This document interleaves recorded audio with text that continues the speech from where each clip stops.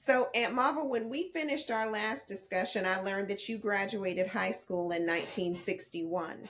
And I know that the Brown versus Board Supreme Court decision to integrate schools happened, and you know, that's 1954. And so, a full seven years later in Houston County, the schools are still segregated. What's up with that? Like, what what was going on at the time? What do you remember about what people were saying at the time about school integration? Well, all I knew, Robin, was that the whites really did want to integrate. They Yes, wanted to keep it segregated so they could run things like they had been running them. And that uh, the blacks wouldn't get advantage of what the government was giving them because whatever they gave for the black school, we didn't get it. It stopped at the white school. Well, And right, we money. would get the leftover maybe of something, but we never got exactly what should have been ours. Yes, ma'am. So, to be clear, our family worked, we served in the military, we paid taxes.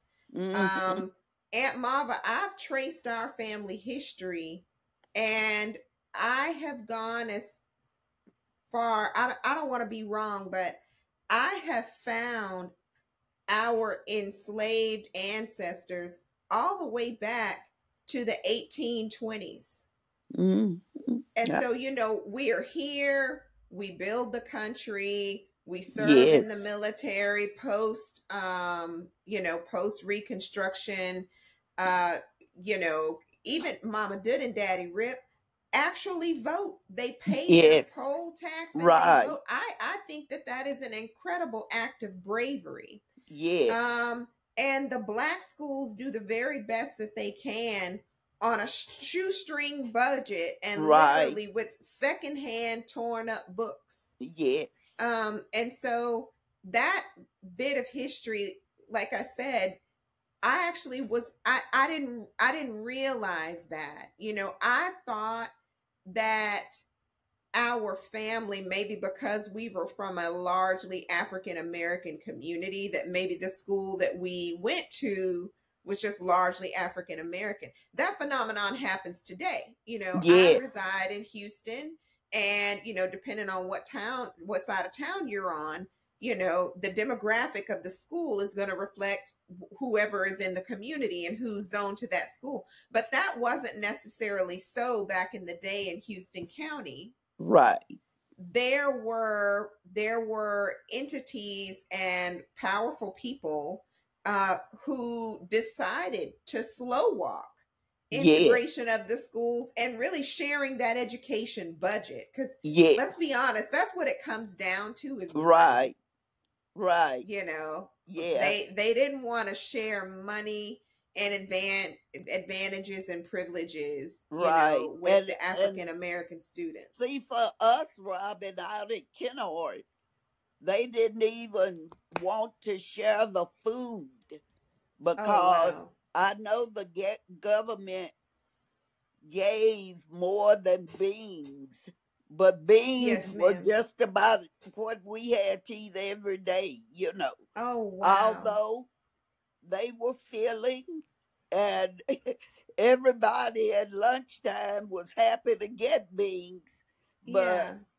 uh, you know, I just know that if the food wasn't distributed like it should have been, because Yes, I know they wouldn't have sent just our school beans every day.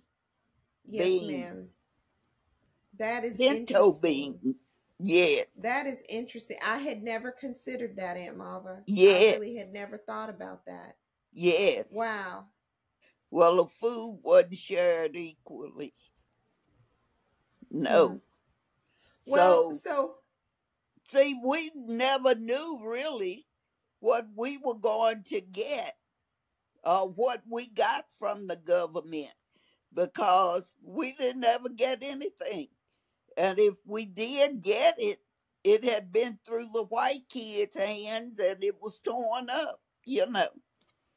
So, yeah, uh, they did that. I guess kind of like they did uh, the when the Emancipation Proclamation came out. You know, Just slow walk it. yeah, Just slow yeah, walk just it, keep it know. as long as you can. You know, so Wow. when they did integrate, it was done because the government required it. Okay. Yes. Okay. So about what time do you think that this is happening in Houston County? That was that was in the late sixties. Okay. Uh probably your dad would remember better than I do, but probably 67, 68, somewhere like Okay. that. Uh-huh. Okay. Yes. So you are you are in an all black school. Um, my father is actually pretty proud of the education that he received in Kennard Colored School. Uh, yes. he puts Professor Henry, not Professor Oh yeah. Henry. Oh yeah. Professor. My dad puts Professor Henry on a high pedestal. You know, he says that that man was highly educated. He took care of his students. Yes. Well, and and Daddy says even that the student test scores uh, were reflective of very good education, and that sometimes the test scores at the black school were superior, higher than the scores uh, that were achieved at the white schools where we, you know, were not allowed to go. Okay, Yes. well, and so um, Daddy also talks about like uh, extracurricular activities. There actually weren't a whole lot of extracurricular activities at the public school, uh, but he says that the basketball team that played on a dirt, you know, Yeah, a little I dirt plot Yeah. actually went to state Yes. you know um and i i think that's an incredible accomplishment he says they didn't even have i don't know if they had backboards or if they just didn't have a special type of backboard but when you talk about shoestring and not having anything aunt marva you know what is described to me uh, uh, is that the community really did make a whole lot of something out of nothing Yes. um and i keep saying like That's that true. the community produced so many diamonds you know yes. there are rough times for sure and i don't mean to romanticize those rough times but really just want to highlight the ingenuity of our family you know Yes. like you know Right. that like that brilliance and genius didn't happen somewhere outside you know our little community and our family Yes. we we figured out how to overcome you know, Right. those obstacles i'm i am in awe of that That is um true. aunt marva what else can you tell me about the time and what you remember about the civil rights movement when do you have some awareness of you know thurgood marshall and dr king and you know the the bus boycott Yeah. and Selma and you know all of these things like you know tell me what you remember about the time Well, what I can remember is uh during that time of Thurgood Marshall, I believe I was going to Texas College Mhm. and uh we didn't have televisions in our rooms, but we did have radios. So I listened to the news a lot, Mhm. and you would hear about different things that was going on with the movement that they were busing buses of people from New York to Alabama, you know, to march and right sit-ins at that time they did sit-ins because if we went in a store, you know, we was still second class. You couldn't go to the to, to the counter to order anything and sit down and eat in the stores. You had if you got anything, I guess they give it to you and you would have to leave. You know. And so, the, is this happening to you when you're in Tyler? Like these are the rules of society. Well, know, no, in the early '60s when you go to Texas College. uh, Robin, we didn't go anywhere. it uh, when we were there in Tyler, you know, Again, that you know, we were in the black part of town, and one man, uh, Mr. Moon, had a store that we could go to. It wasn't far from the campus. We would uh, have to walk to it, but it wasn't very far. And that's where we would do our little buying, you know, when you get your little uh, spending money yeah, during the month. yeah, yeah. Uh, but uh, as far as town, you we didn't go to town every day. Now, when I got to be, I guess maybe a junior or senior, then sometime we would have to go to town. But see, uh, the segregation and had happened at that time, so I don't know how they enforce the laws, but I'm sure it's a southern town. So I'm sure it was like all the other little southern places, you know. You had certain places to stand and all of that to get whatever you would want. Well, you know, Aunt Marva, I find it interesting, you know, these days a young person going to an HBCU, you know, um, a young person going to Texas College or Prairie View A&M University, they're free to move around. Right. You know, I mean, I remember being a freshman at Prairie View and thinking I was hot stuff, you know, going going yeah. to Hempstead, you know, or yes. going to like Waller. Waller. You know, there was no place I couldn't go. You know, there was Yeah. there was no limit to to where I could go when I was enrolled at college. Now, of course, you know, they try to keep you out of trouble and and all of that. Um, Right. but you know that I didn't have a you know a curfew, and I didn't I wasn't told that there was somewhere I couldn't go. Yeah. What you are describing to me sounds a lot like how you were raised in Tadmor. Well, Right. really, y'all didn't go to town a lot. Right. That's You. I, I mean, and it sounds again to me, and I could be interpreting this very wrong, but to me, it's as if the black leader infrastructure at Texas College was a lot like the black leader Right. infrastructure in At home. They wanted to protect y'all That's and true. insulate you That's true. from all of that hate and negativity. Yes. Um, and really, I'm not gonna lie. On some level, they probably wanted to protect some of y'all from getting caught up in the civil rights movement. Might have. I can That's true. imagine being a parent.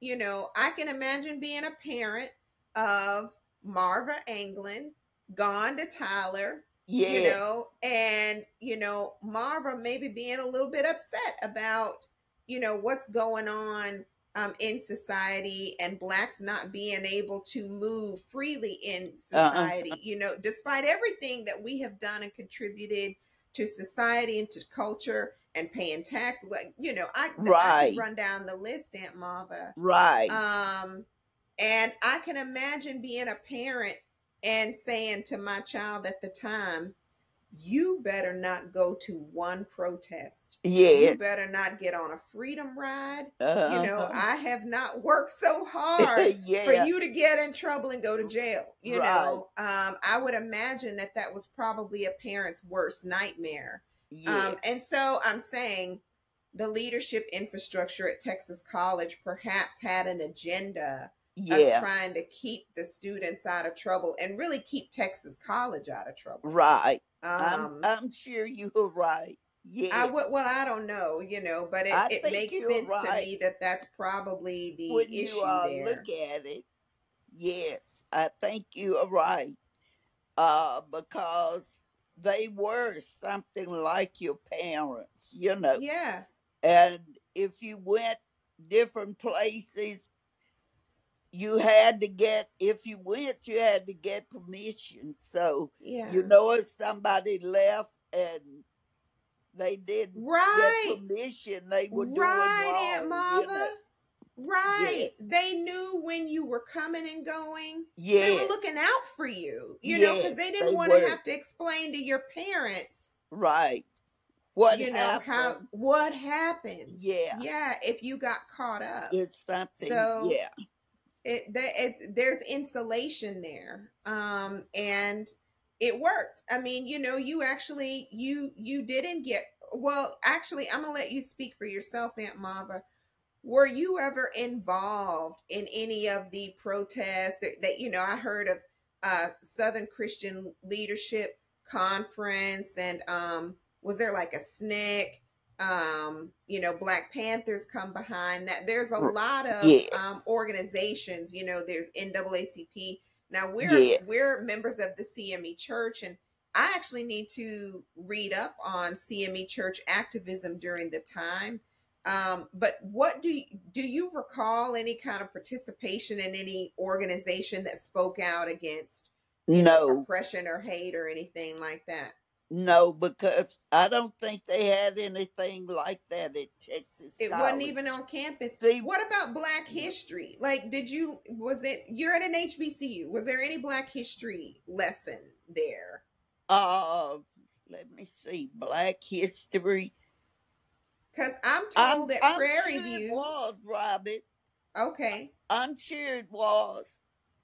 Uh, at that time when I was there, okay. I was trying to remember though. Uh, was it at Texas College when I took a class of Black history? I guess it might have been. Uh, So, because you know, a lot of times in history, the teacher, especially if he was black, would kind of relate things that went on, you know, in certain times of uh that of history, you know. Uh they would relate if you were talking maybe about uh inventing something, let's say the the spinning wheel or something uh they if anything that they knew about black history they would relate it so yeah okay. i'm Well, sure that, you know, that's a beautiful thing. I had heard that back in the day, for instance, at Prairie View, and, you know, I can't help but talk about Prairie View a lot yes because it's near and dear to my heart. Um, right You know, I'm from a Prairie View family. We got purple yes and gold wreaths around the house. That yeah you know, we yes we you know we we're we're Panthers here. But um, a long time ago, there I had heard that there wasn't even like a Black History course. Um, and even you know the the concept of African American studies as a major in college is more contemporary to me. You know, I don't I don't believe that that major existed as a focus of study hmm um you know back then. You know, it you know, let's say like in the 70s or you know in the 80s yeah even. I I don't know. Um but now um uh I, young students uh, of any cultural pers- persuasion can choose to focus on African American studies as a major um, in many of the larger universities here. Um, and so I'm just, you know, times were different when you were when you were in college. What else do you remember about being in college? You know, back in the day, it was said, and I could be wrong. Set me straight if I'm wrong, Aunt Marva. I am told that a lot of young women went to college to find a husband. That that was the point. Go go to college yeah, and find you somebody and get married to a college boy. yeah. Um, you know, but what do you recall about that time? Like, you know, was that true or were women really seeking, you know, better economic opportunities for themselves? Well, now, I, I think when I went, women was just really trying to get an education to better themselves. I That's didn't wonderful. ever hear any of them say, "Oh, I came so I could meet a husband," you know. But now I did hear that when I was uh, working on my master's degree at Stephen F. Austin. I was in the bathroom one day, and some women were in there of the opposite race, and they were saying, you know, one was saying, well, that was why that was what she was told. Go to college and, and get you a husband, Get a you know, so hmm you can uh better your finance and all. So hmm yeah. But nah, I never heard that at Texas College.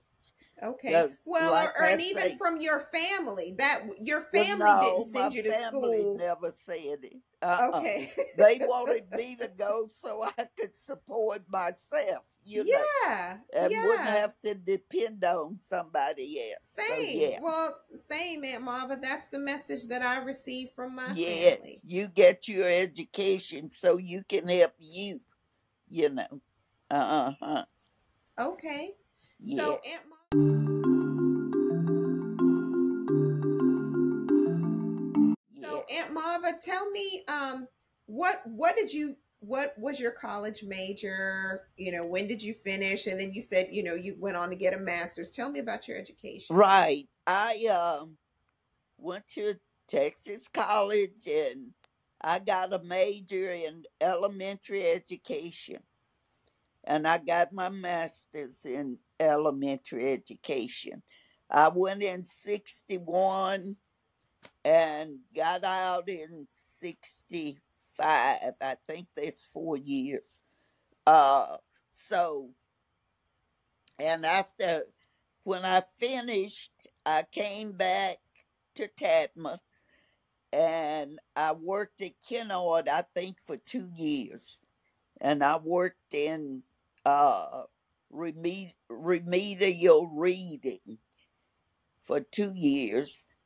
And that third year, I went to Tomball and I worked at uh, Huss Smith for a year, I think. And I taught seventh and eighth grade.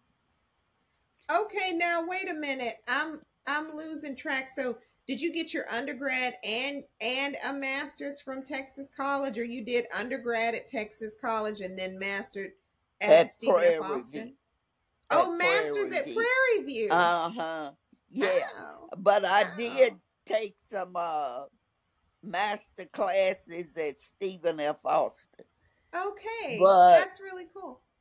but what happened was Aunt Ollie told me about a program that was going on at Prairie View, hmm and it was a teacher. Oh my, what was the Was it name of it?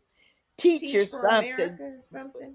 Uh, I can't think of the name now, but it was teacher something, Robert, and we could go and get a master's, but we would have to go to uh underprivileged areas in Texas and work for so many for two years, I believe it was. And Okay. you would work at a school district, but uh, once a week we had to go to Prairie View for classes. Okay. And we did that for two years, I believe it was. Okay. And at the end of the two year program, we would be able to get a obtain a master's degree. Wow. So that's what I did. Uh, So, and Ollie was a team leader in doing this program. uh teacher teacher corps. I bel no, it wasn't teacher corps. I don't think. I I can't remember the name, but anyway, I will find out. And I'm so had glad that, team leaders. You know, uh, because there were about I guess seven, uh, eight to ten groups, and all the groups. There was a group from Bastrop. There was a group from Lexington. There was a group from uh, Groesbeck. A group from Mission, and I can't remember, but it was Samoa. And they selected so many of us. I can't remember if it was eight to ten in a group or what. But anyway, you would choose the group you wanted to work with. okay, And you went there and you would teach, uh, help the teachers, you know, teach, uh, you might, they might want you to tutor. So when I, I chose Groesbeck because Groesbeck was the closest thing for me to be at home, to okay, come home on the weekend. okay, So I chose Groesbeck and and uh, the others we would all come together at Prairie View. Let let me see. That was a a group from Cypress Fairbanks too, and uh, I can't remember all of them. But anyway, but that has big that for impact. huh? I, I, in my mind, I'm thinking that has big impact. Here's what's showing up for me. Aunt Ollie is an incredibly humble woman. She does not brag about herself. You know, she doesn't no. talk about her accomplishments. That matter of fact, she'll look at Aunt Mitty and say, "Mitty, may you tell her." you know, uh, but I think I think that's really cool that Aunt. So, you know, Daddy Rip worked to get Aunt Ollie and Aunt Mitty through college. They did Yeah. that, you know, and then they reach behind and they pull you and your siblings up, you know, to college, and and then after that, reach and say, "Hey, come get in this master's program." And Uh-huh. Aunt Ollie is one of the team leaders of Yes. this teaching program. That's incredible. Yeah, because she already had her masters. Yeah. Yeah. So she Well, she already team. had her master's. And I Uh, mean, just to put a finer point on it, you know, they talk about, you know, you're talking about true Jim Crow South, you know, one a few times in their childhood, they are picking peas and picking cotton in the yeah. fields, you know, they Yeah. grow up in largely segregated, you know, Jim Crow South colored Right. schools, you know, um, with the love of their family, but maybe with not a whole lot of like epi- economic wins, You're if you right. will. Yeah. But they went to college, they go on to get a master's degree. And when I was growing up, I'll be honest, I thought they were rich. You know, Aunt Ollie and Yeah. Aunt Mitty seemed to be doing very well. You know, you know they yes. they drove nice cars they had nice homes you know they were just they were they were fancy ladies um and i think that that's beautiful you know considering i mean i i know i know what i know what the first home looked like you know yes. um like so thinking of the arc just like the journey how we went from there to you know where aunt ollie and aunt mitty are lifting us to i just i think Yes. is uh it's beautiful It so is. you uh you taught in Tomball for a little bit. Um Yes. and then you go to teach in Groesbeck. Okay. Yes. Okay. And you have a master's degree from Prairie View. Yes. Um and so what happens after you get um your master's Aunt Marva? I guess, you know, talk to me about your career. Uh, after I got my master's, uh, they asked me to continue working in Groesbeck. So Okay.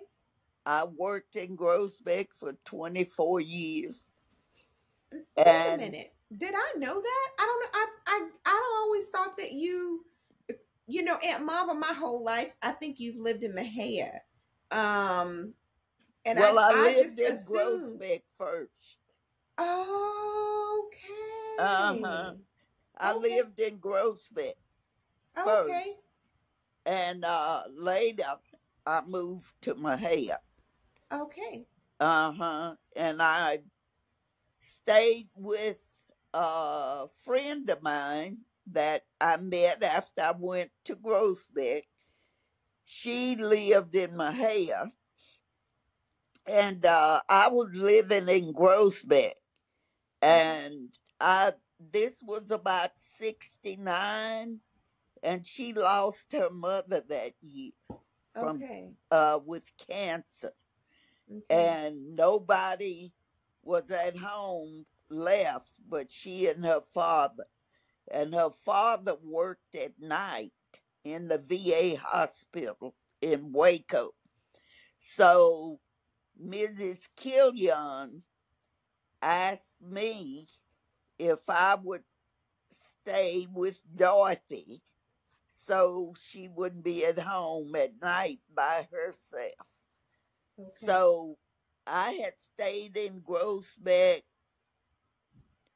oh, I guess uh, a year or two. And then I moved with Dorothy. Okay. So I stayed with she and her father. Yes. Wow. Uh I did not know that. Okay. And so taught for about 24 years in Groesbeck and um it you know, is that where your teaching career ended? Did you teach No, 20 after Okay. I taught 24 years in Groesbeck, I moved to Mexia, uh, moved, start teaching in Mexia. Okay. Uh Okay.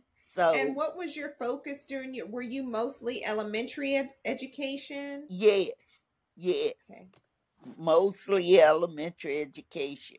The only time I wasn't, I didn't do elementary was when I went to Tomball and I taught seventh and eighth grade at That Tomball. sounds terrible.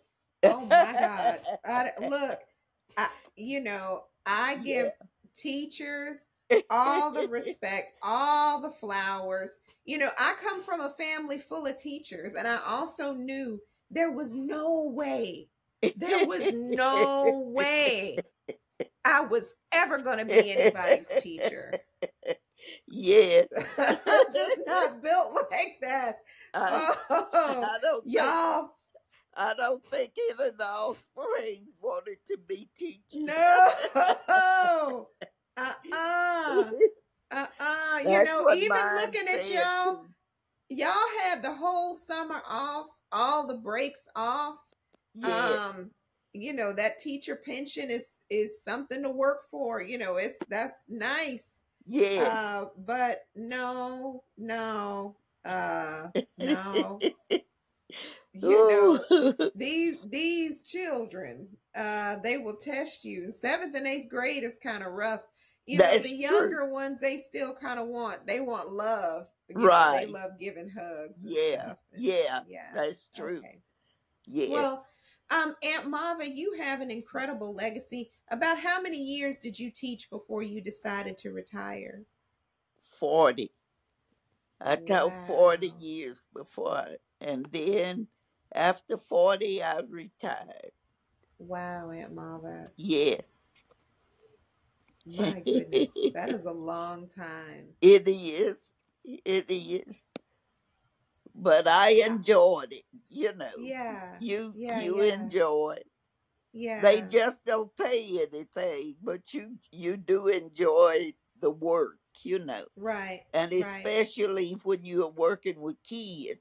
But see, uh, there towards the end, they put so much paperwork on you. Ooh, you had so much paperwork you had to do, and then you had to teach and grade papers. So it it it became kind of hard, you know, Okay. and Yeah. something that you didn't want to do. So, yeah, 40 years was enough. Okay. Um,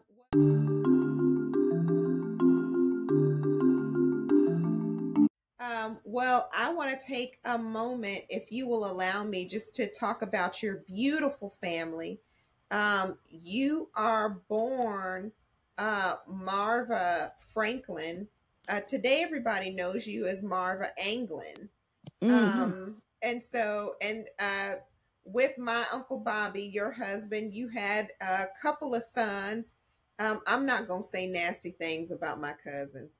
They're wonderful men. Oh, they're such great men now. Uh, both married to beautiful women. Um, you have beautiful, accomplished grandchildren. In fact, uh, one of your grandchildren just started her teaching career yes, um, not too far away from you, and I'm so so proud of that. right. Um, uh, is there anything else that you would want to talk about, you know, with regard to your, you know, your family and what you built there? Um, I guess in Groesbeck and in Mexia. Well, uh, not too much. I just uh, worked 24 years in Groesbeck and then 13 in Mexia, and plus uh, Kennard and Tomball. So it all equaled out to 40 years. So that Wow. that was plenty for me. So Yeah. I didn't go back to sub or anything. They asked me, Okay. was I? And I told them, no, ma'am. Yeah. So what have you done in retirement? What's retirement like for you? Did I hear you were at the library for a bit, or maybe I made that up? But museum. museum. Museum. We have, it's a school museum here in Mexia. So I worked with them. Okay. And at one time I was exercising, but I was driving to Fairfield. And that got old. So Yeah. I Yeah. need Yeah. to Yeah. find a, another place to go to exercise. Oh, and So I'm Mama, you. busy every day doing Yeah. something I can't do like I used to. But And w- what are some things that you picked up in Tadmor? I mean, you know, this might be a little off the wall to ask, but um for I I know that you or in my mind you live like on a farm almost. You know, I I think of your property as like, you know, a true homestead with, you know, you guys I don't know if you got ever had cattle. Um yes, yeah, you know, that's but what, yeah, we have cattle. yeah. Uh Okay, so you live on a farm, yeah uh, and you know, do you have a garden? You know, d- does any I of the done Tadmo a stuff come? yet. Okay, okay. I said I I might try my hand at a garden this year. You all have inspired me. Uh, yes, this idea of you know growing your own food and not necessarily having to be so dependent on the grocery store, uh, yes. I think is really cool. It's also hot and dry. Uh, the planet is hotter. You know, if there are droughts. a quarter yes, of the planet right now is affected by drought. So I I need to learn new farming. Uh, but you know, Aunt Marva, you guys, I don't know what else to say, but great job. You So guys you, have. yeah, and I know you know that during the summers, I used to come back home and Mama and I would can a, a lot. We did a lot of canning of peas. You know what? I'm supposed to ask you about tomato preserves. My dad said, ask Marva about t- tomato preserves, get the recipe, you well, know. uh, Mama made tomato preserves, and I Mm-hmm. would just there around her, you know, observing how she did it. But uh, she didn't have, you know, she didn't have a recipe. Nobody did. You know, I'm listening to a book right now by one of my favorite writers. His name is uh, Michael Harriot. And Uh-huh. he talks about the history of soul food and soul food recipes. and how Yes. so much of what was created was never written down. It used to be illegal for black people to read and write. Yes. Uh, so you know, it was some of this, some of that. right. know, like, right. and I think that's how uh, my mother's mother cooked. You know, a lot of the really fantastic food yes. didn't have a recipe. That's you true. Know, they they cooked Right. on instinct. Yeah. Um, but Amava, I know you learned it by osmosis. It's in you. You just you just have to get in the kitchen. Just yeah. get in the kitchen and measure and, and you know to write a recipe measure Yeah. things you know and- Yeah. and, add and write down how much i put of what so yeah Yeah, yeah. Hey, Marva, listen, maybe one of these days, uh, if I find myself with some time, I'll come up there and we'll we will figure it out. We will figure out some tomato preserves. yes Okay. yes Well, um, thank you so much for talking to me, Aunt Marva. Um, this is for me, this has been You're a true welcome. treat. Um, yes learning about our family's history in Houston County and you know, kind of what happens later. yes um, Well, a- and you know, maybe, like I said, hopefully one day soon we'll all uh, get to be together. Uh, and Yes. just kind of continue the discussion. okay all right Okay. then I love i you. enjoyed it i love you okay. bye bye. bye-bye